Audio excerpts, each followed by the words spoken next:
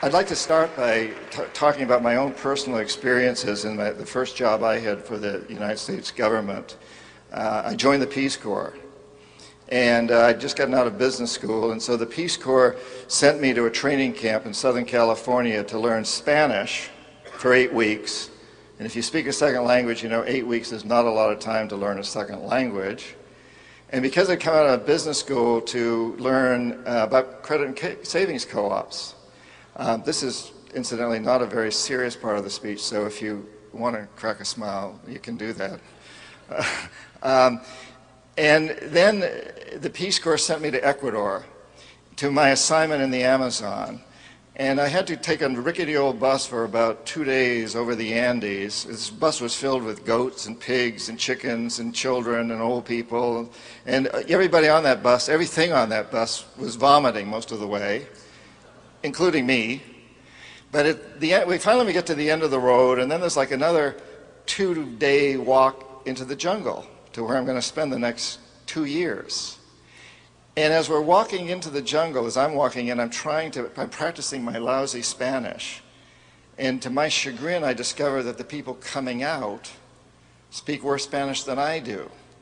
That they're Shuar. They're indigenous people who speak Shuar, not Spanish.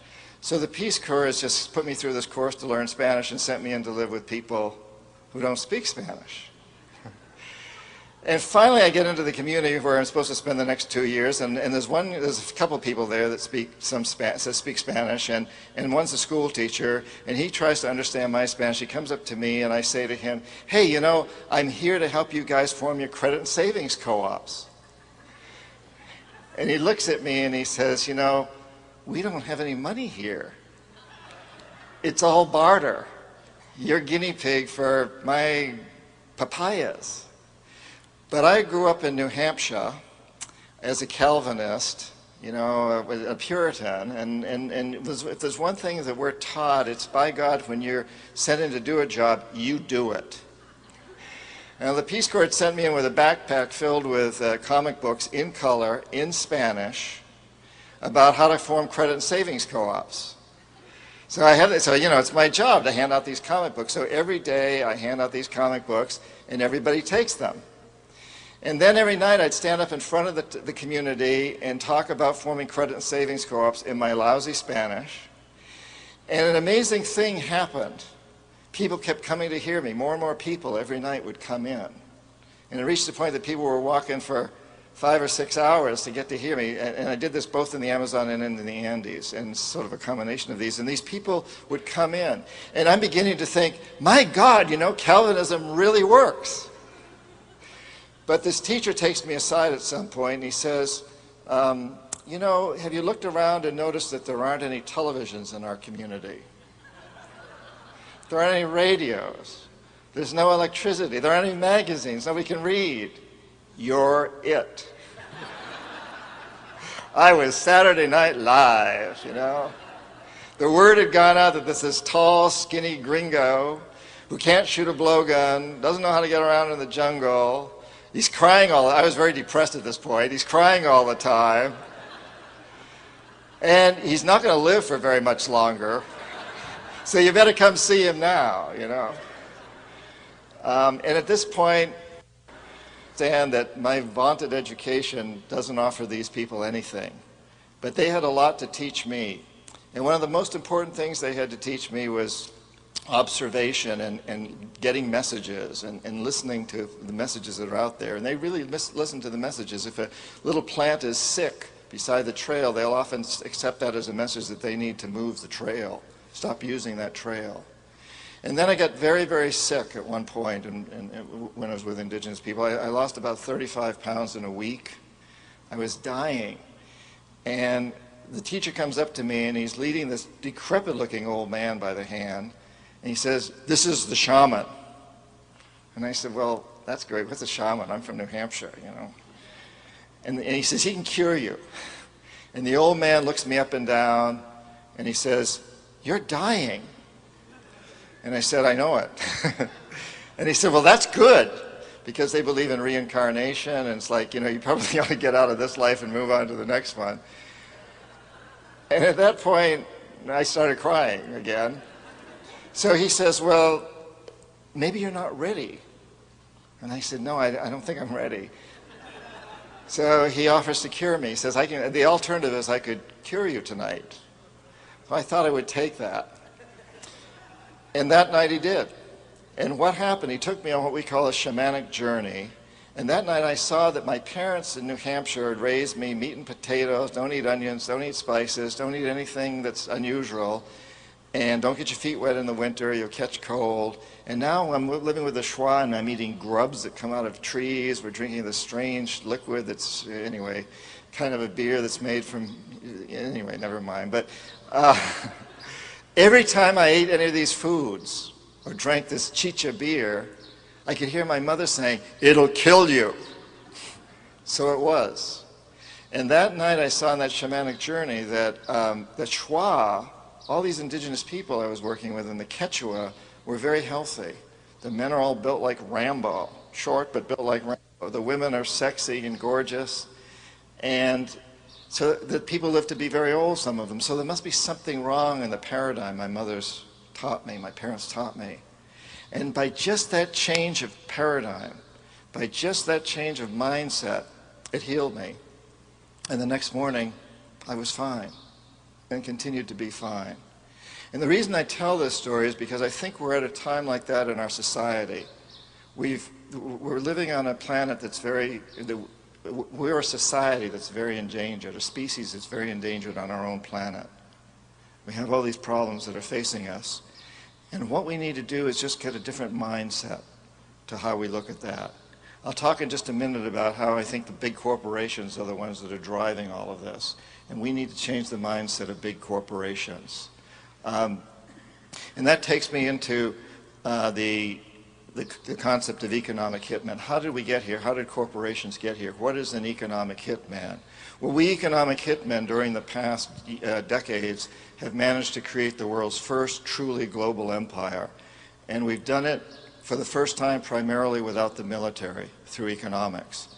We work many different ways, but perhaps the most common is that we will identify a third world country that has resources our corporations covet, like oil, and then arrange a huge loan to that country uh, from the World Bank or one of its sisters, but the money doesn't actually go to the country.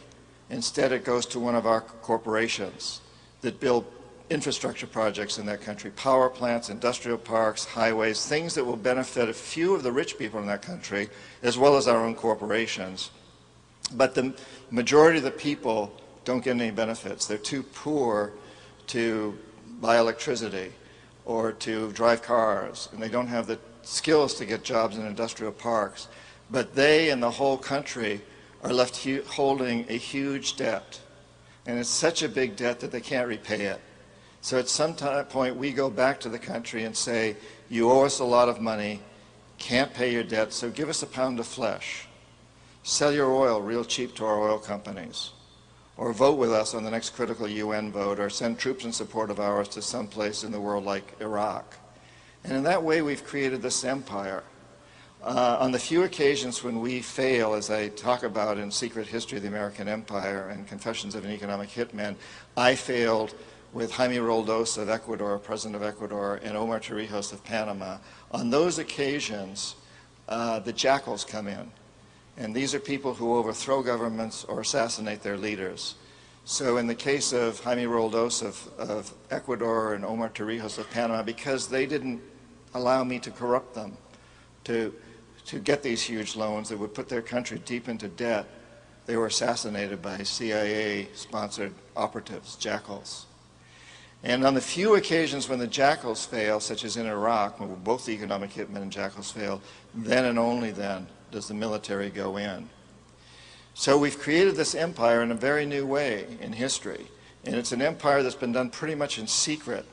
Most of us in the United States don't realize we're the beneficiaries of an empire built on exploitation of resources and people, ruthlessly often around the world. I think we all have to question our role as a democracy under these circumstances because a democracy is built on the assumption that the electorate is informed. And if, if we're not informed about this most basic principle of our foreign policy, then we're not informed. Uh, we're, and, and you have to question whether we can truly vote intelligently. I think this is a very, very serious problem and an important one that, that we all need to face and confront. Um, but the good news is that the modern equivalent of the emperor is not our president, obviously. An emperor is a person who does not serve a limited term, is not elected, and doesn't report to anyone. Our presidents are not in that category. But we have a group of people that I call the corporatocracy who run our biggest corporations. Uh, and this isn't a conspiracy theory. These people don't have to conspire to do illegal things, but they really control our politicians through campaign financing and especially through lobbyists. They control our media either by outright ownership or indirectly through advertising budgets. And they really run the, the show. They are really in charge of the world today. Uh, in fact, you might envision the geopolitics of the world today as not being um, uh, revolving around nations anymore. It's not Russia or the United States or China. You could really envision as these big clouds floating around the planet. And they don't know any national borders. These are the corporations. And they are really in control today. And in that, I think, is a tremendous amount of opportunity for us to, for us to transform the world, for us to create and force these corporations to create something different. Because unlike other empires, this one is not built on the military, therefore we don't have to fight it or change it through violence. We can do, through, do it through the way that we shop or don't shop because all these major big corporations are totally dependent on you to buy their goods and services. They're completely dependent on you. And in the past, they've been very, very susceptible to us so that, you know, we've forced corporations to clean up polluted rivers all over the country.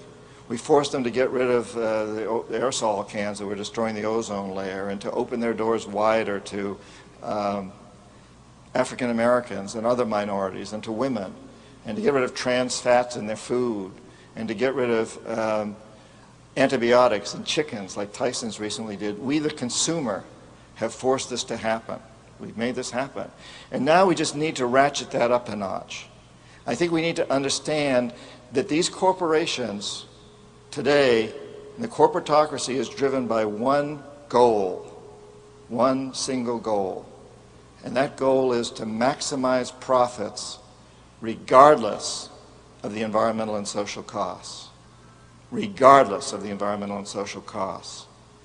And we need to turn that around and let the corporations know that maximizing profits is fine, but only within the context of creating an environmentally sustainable, socially just, and peaceful world. And we have the power to do that. You have the power to do that. You and I have the power to do that, and all of us together have that power. And so it's a tremendous opportunity that we have here to move into this revolution. And it truly is a revolution. I, I really believe that we're at a time in history now that's equivalent to when the nation, the, the city-states became nations. And we're now at a time where the nations are not very important. The big, the corporations are important and we have the power to change them. One of the reasons that, that I'm, another reason that I'm optimistic is because every one of these corporations is run by people like you. Some of you are running some of these corporations, I'm sure. And these people have children and grandchildren and nephews and nieces. I know a lot of corporate executives and CEOs, and I don't know one who wants to see Florida sink beneath the ocean or who wants to see the ozone layer destroyed. I know a lot of them who want to see a better world for their children and grandchildren. But they're driven by this one goal that they learn in business school and they learn as they come up through the corporation, and that is to maximize profits regardless of the social and environmental costs. When we convince them, when we go in and let them know that we're not going to buy a jacket made in a sweatshop